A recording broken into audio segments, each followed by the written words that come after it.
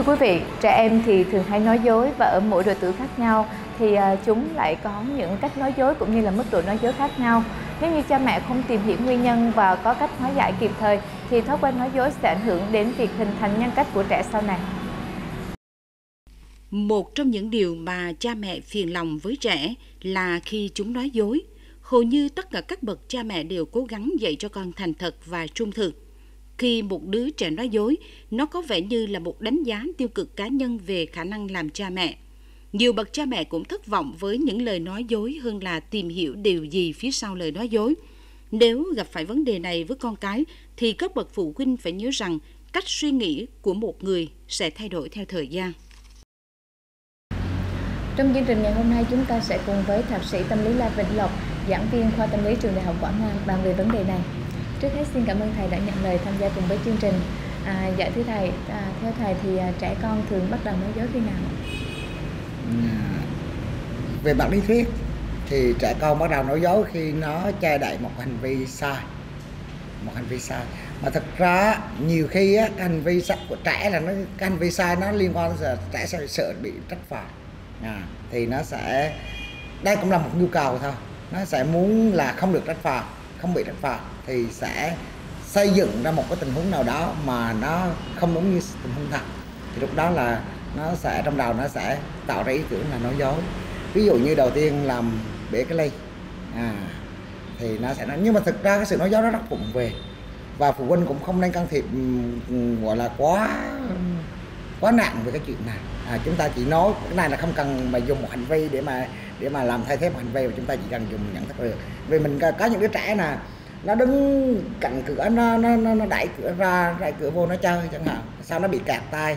Thì khi mà phụ huynh hỏi vì răng mà phải đứng này cho nó bị kẹt tay nó là trả lời mẹ là con đang đứng là cửa nó vô nó kẹt con chứ con không có đụng vô nó. Cái kiểu nói dối của trẻ rất cũng về. Thực ra là nó bắt đầu nói dối khi mà nó cảm thấy một hành vi đang thực hiện bị trừng phạt bị người lớn la là nó sẽ nói dối. Để bảo vệ cái gọi là nó nó, nó có nhu cầu bảo vệ cái cái, cái an toàn cho bản thân nó à, và cái sự nói dối này nó bắt đầu là à, về mặt trung bình á khi mà trẻ đã va chạm trẻ đã tham gia cuộc sống và đã tạo lập những hành vi sai à, thì trẻ sẽ bắt đầu nói dối. Thì vào cỡ khoảng là ba bốn tuổi ba bốn tuổi là trẻ bắt đầu nói dối được. Dạ. à, người lớn chúng ta thì à, thường bao biện rằng có nói dối nhưng mà lời nói dối đó không ảnh hưởng tới ai à, là, là lời nói dối trắng. Như vậy thì ở trẻ con có như vậy không như vậy?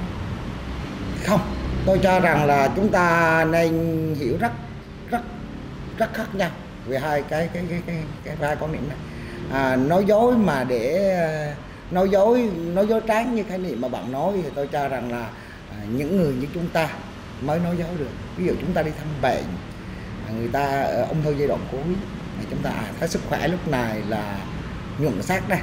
Chắc là không sao đâu. À, cái đó là lời, lời nói dối gọi là à, là nói dối là đem lại cái đem lại cái cái, cái, cái kết quả tốt. Bây giờ con mình học yếu nó về nó buồn à, mẹ nó trời con nói sao cô giáo chắc cô giáo có sự nhầm lẫn ra. Chứ con mẹ thấy mẹ con của mẹ là học tốt mà. Con không lo tốt lắm con học rồi tốt. Lẫn vẽ hình nhìn rất xấu xí. Trời ơi con mẹ vẽ đẹp quá. Chắc cả lớp chỉ có mình con vẽ được thôi. Thì đó là những lời là mà người lớn chúng ta biết là người chúng ta đang nói dối. Cái quan trọng là chúng ta đang biết nói dối và lời, lời nói dối đó nó sẽ à, nó sẽ có tác dụng như thế nào hay là có ảnh hưởng như thế nào? Cái trẻ con thì nó không biết cái này. Trẻ con thì nó nói dối để nó bảo vệ bản thân nó thôi. Xung quanh môi trường của trẻ là toàn nói dối cho nên là một khi mà để trẻ nhận biết được cái này điều nguy hiểm. Và gần như chúng ta coi là nói dối cũng bình thường. À, à, chúng ta nói dối gần như là ở mọi mọi nơi mọi lúc. Cho nên là bây giờ cái cách mà giáo dục tốt nhất là người lớn đừng nói dối nữa. Thì trẻ nó tự khác vì nó thấy là nói dối không đem lại hiệu quả gì. Đó nè và cái sự lừa dối nhau như vậy là cũng không có cho cả trai cả. Đó là thì ừ, ngay cả việc ràng chữ cho trẻ con có nhiều phụ huynh hỏi tôi là cái nên đưa con đi ràng chữ không? Hay không? Ở nhà vợ chồng mi là cô giáo của nó viết chữ đẹp tự khắc nó đẹp. Chứ cần chỉ phải ràng. À, bởi vì mi viết chữ xấu cứ bắt con viết chữ đẹp răng viết cho được. Đó thì tôi nghĩ là cả cái nói dối cũng vậy. Này người lớn chúng ta cũng vậy. Cái gì mà cần nói dối lắm và cái chuyện nói dối đó mình phải xác lập được là mình sẽ xác định được đó là nó sẽ gây ảnh hưởng như thế nào hay là đem lại hiệu quả như thế nào thì mới nói dối chứ còn có những cái cần thiết là không nói dối. Bởi vì tôi tôi cũng hơi bi quan cái chỗ này này làm công tác giáo dục bao nhiêu năm à, nhà tôi cũng có rất nhiều trẻ con thì tôi thấy là gần như cái chuyện nói dối nó nó nó nó nó nó, nó tràn ra nó gọi là nó ở mọi thời điểm và ai cũng có thể nói dối được. Và để mà để phán xét hay là để à, để phán xét để, để bài trừ đó cũng không có ai mà vì không có vi phạm pháp luật chi mà để mà mà nói hay được. Vậy thì khi trẻ mà nói dối thì uh, chúng thường có những biểu hiện như thế nào thưa thầy à, thường thường trẻ nói dối á bây giờ có những đứa trẻ mà nói dối cũng thành chuyên nghiệp nha. Cái này không sợ nhưng mà những đứa trẻ mà nó ít nói dối mà khi nó sợ thì rõ ràng là cảm xúc cơ thể nó sẽ biểu hiện ra trên gương mặt nó sẽ không có nhìn thẳng vào mặt của cha mẹ là cô giáo.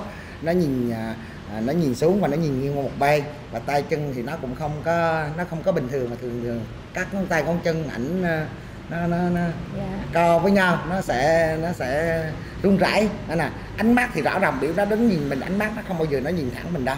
Nè rồi môi miệng nhiều khi nó cũng nó cũng giật bởi vì à, vì- bởi vì sao? Nói dối thì nó lại nằm trên cái trung khu tưởng tượng trên vỏ não. Khi nó trung khu để hưng phấn để nói thì các cái cơ khác ở dưới cơ thể nó cũng sẽ hoạt động. À, ví dụ cơ miệng cơ tai à à cơ má cơ gò má vân vân. Thì mình rất là dễ phát hiện mà thực ra cũng không cần.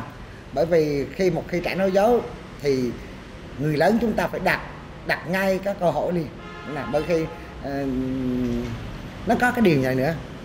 Tức là nhiều khi á cái sự nghi ngờ người lớn lại làm cho trẻ như không phải trẻ nói dối chúng ta cứ nghĩ là trẻ nói dối. À, còn trẻ nói dối bình thường thật sự thì à, cái biểu hiện từ gương mặt biểu cảm của gương mặt biểu hiện biểu cảm cơ mặt môi rồi của các cái đầu ngón tay. Là hai cái chân nó cũng rung nè. Thì chúng ta phát hiện ngay. Và nếu mà khi mà chúng ta phát hiện ra trẻ nói dối thì chúng ta nên làm gì?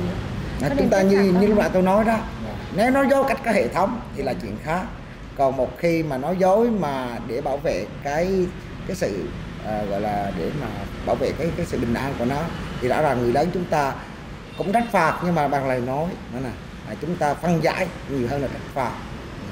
Dạ. vậy thì um, đối với những đứa trẻ mà như thầy nói thường xuyên nói dối thì ờ, chúng ta có những biện pháp gì là những đứa trẻ mà thường xuyên nói dối thì sẽ có những nguyên nhân như thế này.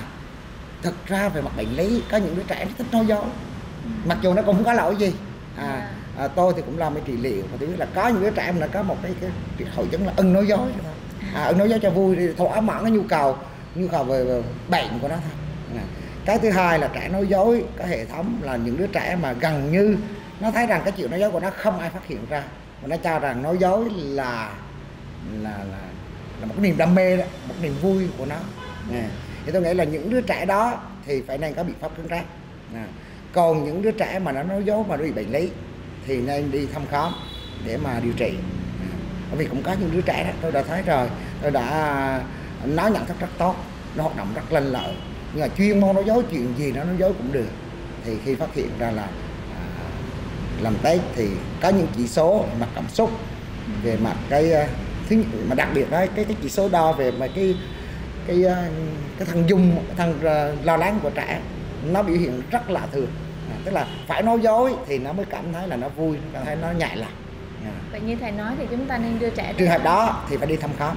À, đặc biệt là ở ở miền trung tây nguyên chúng ta thì gần như các bệnh viện à, các bệnh viện nhi cũng đều có khoa tâm thần trẻ. À, rồi bệnh viện à, tâm thần đà nẵng. À, tôi thấy là khoa tâm thần trẻ bệnh viện tâm thần đà nẵng là à, nó liên kết với một cái tổ chức tâm thần sức khỏe tâm thần ở mỹ. À, nó liên kết được 20 năm rồi người ta người ta có những chương trình mà can thiệp rất là tốt.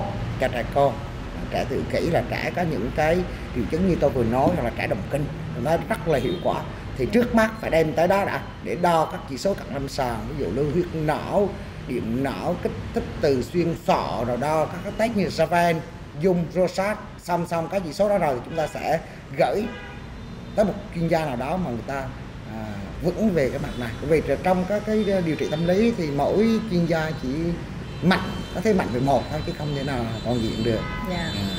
À, còn một- mà trẻ mà nó nó giấu một cái hệ thống rồi á thì đó là là đứa trẻ khác rồi đó. À, Dạ. chúng ta phải à, cũng khó cũng cũng khó can thiệp lắm đó nghe. Bởi vì nó nó thấy là nó qua mặt được người lớn nó vui quá đó nè cái chuyện bạn nó nói một cô cũng tin đó nó thường thường nó bảo là và nó, nó cho nó là niềm vui của nó thì chúng ta phải đưa nó vào tình huống như thế nào? Con làm như vậy con vui nhưng rất nhiều người tổn thương. Và các hậu quả đem lại là con không tưởng tượng được đâu. Thì phải đưa trẻ vào tình huống đó thì nó mới gọi là nó mới nhìn nhận ra được. Dạ có nhiều bậc cha mẹ là khi mà phát hiện con mình nói dối chưa cần biết nguyên nhân cũng như chưa tìm hiểu cái sự việc như thế nào thì đã uh, có thể đánh con mình. Thì uh, trong trường hợp này thầy có lời khuyên gì không ạ? Thì đó như tôi nói ban đầu vì trẻ nói dối vì trẻ bảo vệ bản thân mình cho nên khi mà bị đánh là những cái sau nó cũng nghĩ nó sẽ bị đánh đánh tiếp và nó sẽ nói dối tiếp.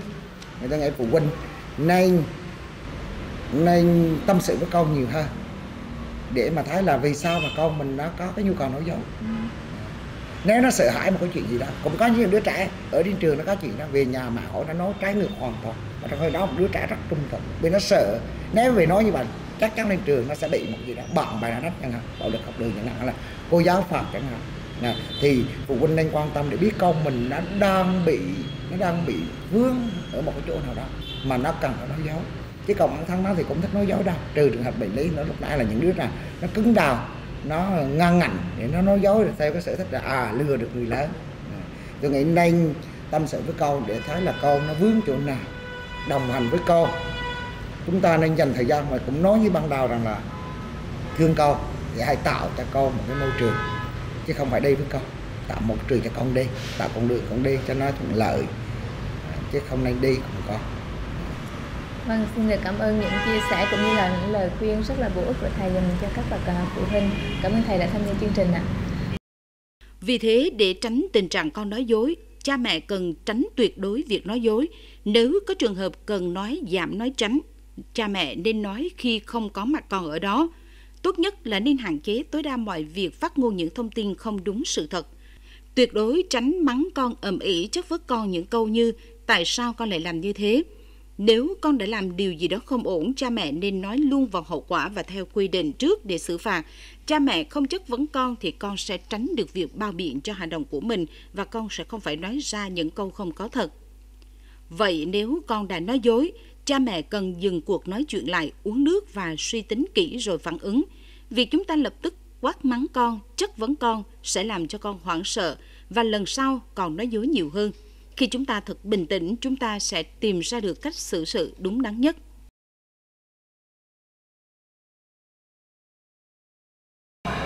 Thưa quý vị và các bạn, cha mẹ thường mắc sai lầm khi nghĩ rằng con còn quá nhỏ để nói dối à, sẽ dễ dàng nhận ra nếu như con nói dối hoặc là đánh con nhiều để con từ bỏ thói quen nói dối. Hãy dừng lại, cha mẹ hãy để ý đến con nhiều hơn, đặc biệt là khi con nói rất muốn à, có được một món đồ chơi nào đó. Hãy chân thành nhẹ nhàng tâm sự với con để hiểu con hơn và giúp con từ bỏ thói quen nói dối. Cha mẹ hãy nhớ rằng đòn roi không làm con nên người mà chỉ làm tổn thương con mà thôi. Vì vậy à, ứng xử như thế nào khi con nói dối cũng là một kỹ năng rất cần thiết đối với các bậc cha mẹ. Và đến đây thì chương trình kiến thức cuộc sống kỳ này cũng xin được khép lại. Hẹn gặp lại quý vị và các bạn trong những chương trình kỳ sau.